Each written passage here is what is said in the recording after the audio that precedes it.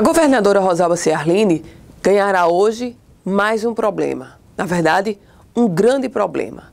O movimento articulado de combate à corrupção, integrado por representantes da OAB, do Ministério Público Estadual, do Ministério Público Federal, da Controladoria Geral da União, de diversas instituições civis, promete entregar hoje, na Assembleia Legislativa do Rio Grande do Norte, o pedido de impeachment da chefe do Executivo Estadual.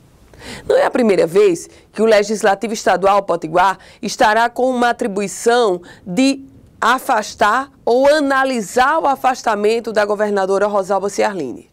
Por determinação do Judiciário Eleitoral, a Assembleia Legislativa, o presidente Ricardo Mota, já foi provocado outras duas vezes para uma situação semelhante, ou seja, para afastar de imediato a governadora do estado. Isso não ocorreu porque Rosalba Ciarline conseguiu, no Tribunal Superior Eleitoral, uma medida ou uma decisão liminar garantindo ela se manter no cargo.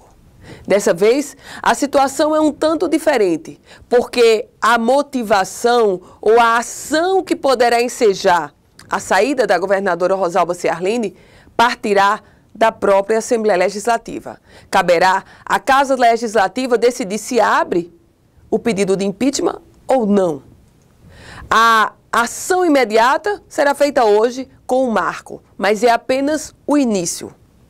O a chave da questão ou a decisão de pedir, de entrar com pedido de impeachment ou não, será da Assembleia Legislativa e dos trâmites a serem adotados a partir de agora. Sem dúvida, é um duro golpe para a governadora Rosalba Ciarline. Independente dela ser afastada pelo Legislativo ou não, é um golpe porque é mais uma mídia altamente negativa para uma gestora que tenta uma recuperação e para uma pré-candidata que sonha com a reeleição. Afora esses aspectos, a governadora Rosalba Ciarline começa agora a lidar com uma nova situação. É um cenário adverso em uma casa legislativa onde há muito ela já perdeu a maioria.